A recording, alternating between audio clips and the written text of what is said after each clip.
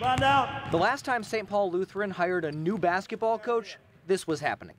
It's one small step for man, one giant leap for mankind. Okay, switch. For 51 years, Gil Thiede has been on the sidelines, Get some hands high. coaching generations of young men. You don't realize how old you are until you, you, you notice guys that you've coached that are grandpas now. You look in the mirror and say, what happened? What happened is a lasting legacy. Your hand is like this. Between Gil, his brother Hal, and their father Harold, a Thiede has coached the Panthers for nearly 70 years. We must be doing something right if, if they want to keep bringing their, their kids back here. Seeing him coach Zach now and his buddies and just going back in time, it, it's a neat experience to be sitting in the stands and listening to some of the same commentary and plays. We'll talk about it at dinner sometimes and like after games, talk about it. And you'll be like, oh yeah, I remember when I did that kind of thing. Zach and the rest of this year's team will be the last Panthers to play for a Thiede.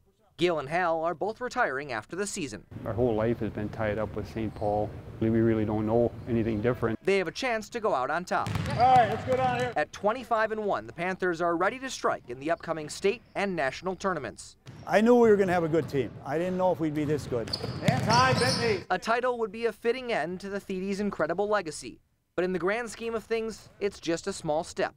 The giant leap is the impact these volunteer coaches have made on generations of students. Thank you from the bottom of my heart for giving me the confidence and the opportunity to be able to play. It's amazing all the people that I've met that, that I never would have met if I'd have just stayed being an electrician. Scott Grodsky, CBS 58 Sports.